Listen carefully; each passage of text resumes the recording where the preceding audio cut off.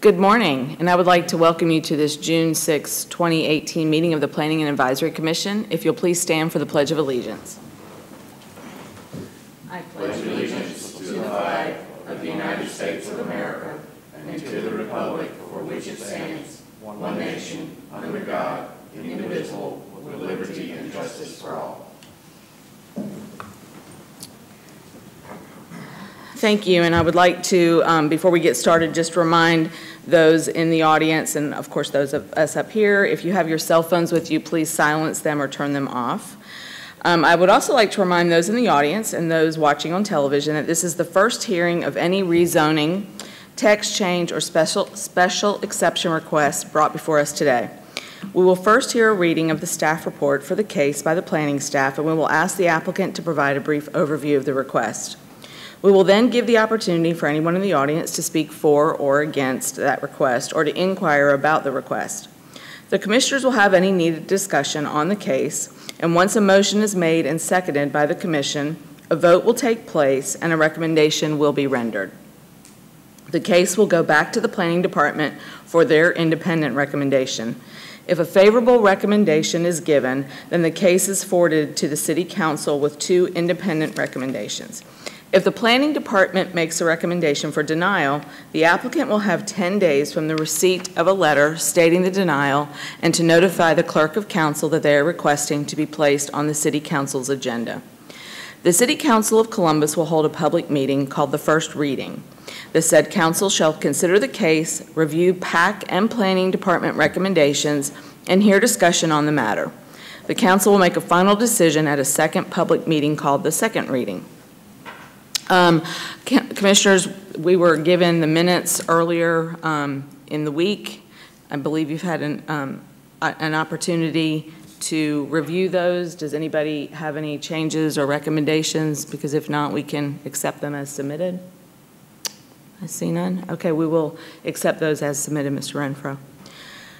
So that will bring us to our first and actually only case today, and this is um, a special exception it is a request to rezone 0.43 acres of land located at 2305 Amos Street. The current zoning is RMF1, which is residential multifamily 1. The proposed use is a personal care home type 2. A personal care home type 2 requires a special exception. Greg Johnson is the applicant, and this property is located in Council District 3, Huff. Mr. Renfro, staff report.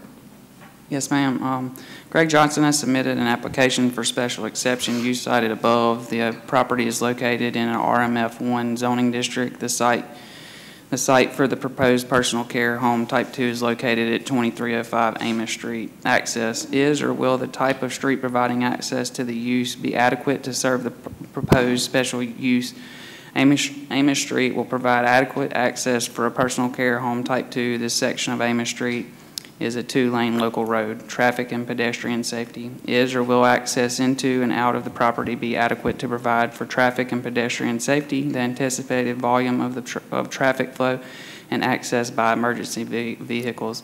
Access into and out of the property in question will provide for adequate traffic and pedestrian safety. Emergency vehicles will have adequate access to the principal structure and accessory uses. Adequacy of public facilities are or will public facilities such as school, water, or sewer utilities, police, and fire protection be adequate to serve the special exception use? Services such as water, sewage, utilities, police, and fire protection will be adequate and serve the proposed use at this location protection from adverse effects. Are or will refuge, service, parking, and loading areas of the property be located or screened to protect other properties in the area such, from such adverse effects as noise, light, glare, or odor? The property is surrounded by other RMF1 uses. Parking, service, and refuge should be adequate and provide as stated within the UDO. Noise, light, glare, and odor should be limited due to the nature of the location. The only concern will be the intensity of density with the predominantly single-family residential, residential-like setting. Hours of operation. Will the hours and manner of operation of special exception use have no adverse effects on other properties in the area? The hours of operation for this use will not have an adverse impact on the neighboring properties of this area. Compatibility. Will the height, size, or location of the buildings or other structures on the property be compatible with the height, size, character, or location buildings or other structures on the neigh- neighboring properties? This structure's height, size, and location should match the use found in other RMF properties.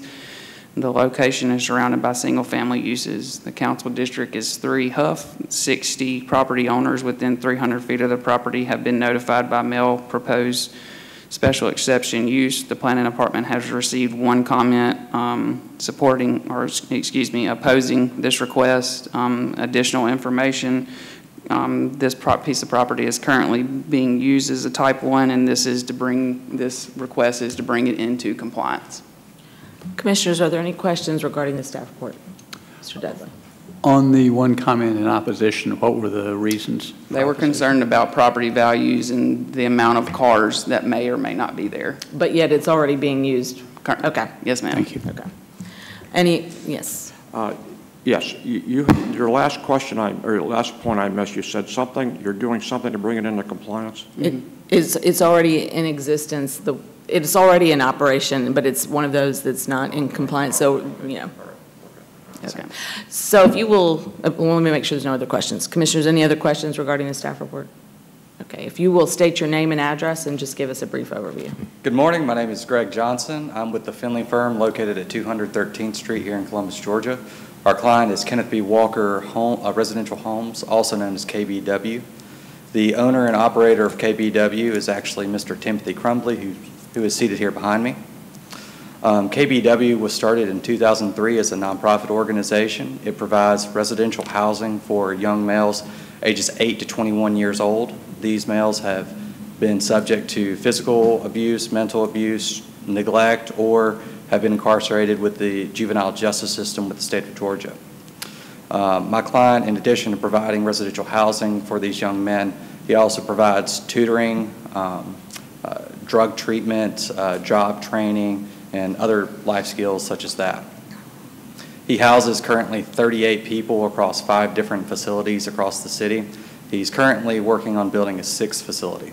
And the way that he funds this is through the state of Georgia. He makes an application to the Department of Human Resources. Uh, The DHR sends down a representative to um, uh, evaluate the facility and determine whether or not it meets all uh, requirements to actually give funding on really a per-bed basis. And uh, once they certify that funding, he's able to receive the funding and house the, uh, the young men. Um, One of the facilities that he uses is located at 2305 Amos Street. It is currently zoned as RMF1 per- with the uh, approved use as a personal care home type 1. Um, Unfortunately, my client was under the mistaken belief that it was zoned where he could use it as a personal care home type 2. He's actually been operating, operating it as a personal care home type 2 since 2015. Whenever he uh, discovered that it was a personal care home type 1 uh, use only, he contacted my firm and we began the proceedings that led us here today. Um, Currently, there are actually 10 uh, young men that live in the home. Under type 1, it could only be six. Um, So really what we're asking the council here to do today is to approve them to be able to use it as it's already being used and just bring it into compliance. Um, uh, I I believe my client does a huge uh, service to the community. He takes in these young men, he makes sure that they're productive members of society and that they can't actually be on the streets homeless or creating um, any other kind of trouble in the community. Um, uh, We would just ask that this board uh, uh, vote to, for him to be able to use it as a personal care home type two. And as far as the uh, comment goes, as uh, parking, I don't believe that many of the young men actually have vehicles, um, so I don't think that that should really be a concern uh, for this panel here today. So the biggest difference, Mr. Renfro, in this is really just the number of residents or patients. It Correct. isn't actually the type of business, it's the number that they can house. Right, the type 1 goes up to 6, Right. and type 2 goes up to 18. Okay. And for each, and for each individual that's added to the home, the state of Georgia actually has to come home, evaluate, come down and evaluate the home to make sure that there's not too many individuals in there. Otherwise, my client can't get funding to house them. Commissioners, are there any questions for the applicant? Yes, quick Reed. question. Um, Thank you. How long have you guys been operating um, under the top two status? I I know you're not legally Since zoned um, personal Uh, care type two, but how long have they been operating at that status? Um, They have, they've been operating in this home since 2005. They didn't have more than, they had more than six people starting in 2015. Okay, so over three years. Yes. Okay. Any other questions for the applicant? Mr. Bollinger? You're going to have to hit your green button. I think, um, maybe, not. there we go. Um, so how many people are in the home total, not counting, I mean, counting the, the kids that are there? I assume there's, uh, adult staff there on site as well? Uh, Only the, only the kids actually live in the home, um, I believe, Mr. Crumpler? Yeah, only the kids live in the home. There are currently 10 young men in the home. If he's not allowed to operate under type 2, three of those um, young men would actually have to leave. Um, And depending on whether or not the state of Georgia can find somewhere else for them to live, they might actually end up homeless if he doesn't get this. uh, Well, I would imagine you have more than, I mean, you- there's got to be overnight caregivers and whatnot, I would assume, in there. So he's Um, holding up two fingers, yeah. You can't just have kids living in that house without, yeah. And, and that was, that was my question. So you do, there is adult supervision at some point? Yeah, there, there there is still adult supervision. Okay. Any other questions, Commissioners? Um, if One quick the- question. Yes. Can we have the gentleman come forward, please? You say he's the property owner? Yes, he, he- he's actually the owner and operator of KBW Homes. Okay. So if you, I'll need for you to state your name and address, please. Uh, Tim Crumley, uh, 41 Pin Oak Way, Hamilton, Georgia. Thank you. Mr. Reese? Out of the three years that you've been operating under uh, the personal care home type two status, have you had any issues in the community with the neighbors or any problems with any of your residents there at the Not since the beginning, when I first opened, and we had a meeting at a church, and it was uh, resolved during that time. They thought I was going to bring in prisoners and stuff like that, and I had to explain to them that it wasn't prisoners, just kids. And one of the reasons, he explained to you that type one is started with six, they gave me seven at the beginning, not six. That's why I was operating under type two. Gotcha. Commission, yes. Mr. Day? Uh, That area is a high crime area. I mean, how, how would that affect more people coming in that area? That area is real, a lot of crime in that area, I think.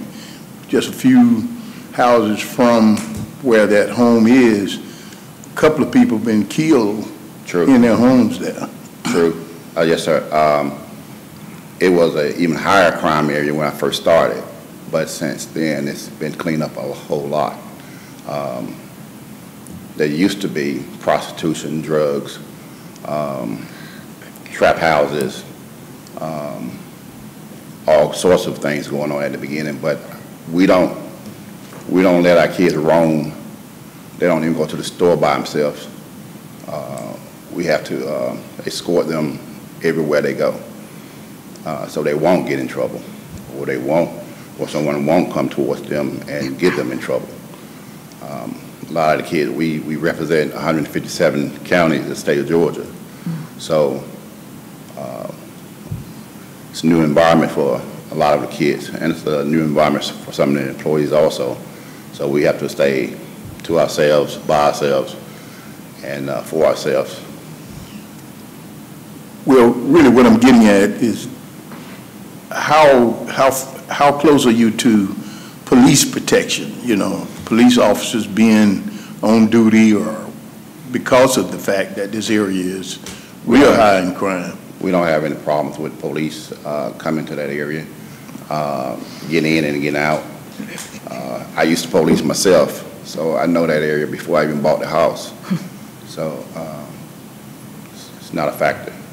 Well, the reason I'm talking, because I lived in that area, and I know what the situation is. Yeah, but that was uh, maybe years ago, Yeah. so. Any, any other questions, Commissioners, for the applicant? Mr. Reese? And just for clarity for me, uh, um, for the staff here, there was no concern at all with the request that's being made today? No, sir. Any other questions? Do I hear, oh, well, we have no one in the audience other than the applicant and his legal counsel, so I imagine there's no one here in opposition of it. And I'm sure that you're probably speaking in favor of it. Typically, I ask for anyone to come forward who's in opposition or in favor. I'm not going to do that today since we have no one in the audience. Do I hear a motion? Mr. Reese? Oh, Mr. Greenblatt, I'm sorry. Yes, in regards to special exception E EXCP 04180865, Mr. Greg Johnson is the applicant located at 2305 Amos Street, approximately 0.43 acres. Request rezoning from RMF 1 to a special exception for personal care type 2. I move we approve.